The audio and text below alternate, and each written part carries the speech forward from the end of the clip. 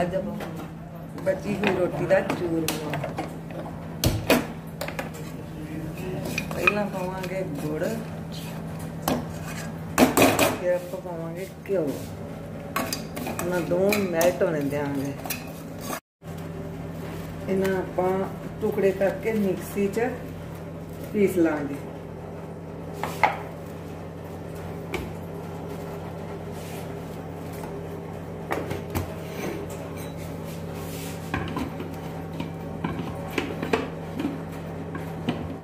ਰੋਟੀਆਂ ਨੂੰ ਗ੍ਰਾਈਂਡ ਕਰ ਲਿਆ ਇਹਦੇ ਥੋੜਾ ਜਿਹਾ ਆਪਾਂ ਪਾਣੀ ਪਾਵਾਂਗੇ ਚਮਚਾ ਦੋ ਚਮਚੇ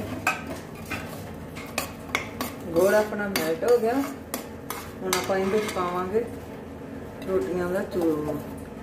ਗੈਸ ਆਪਾਂ ਕਰ ਦਾਂਗੇ ਬੰਦ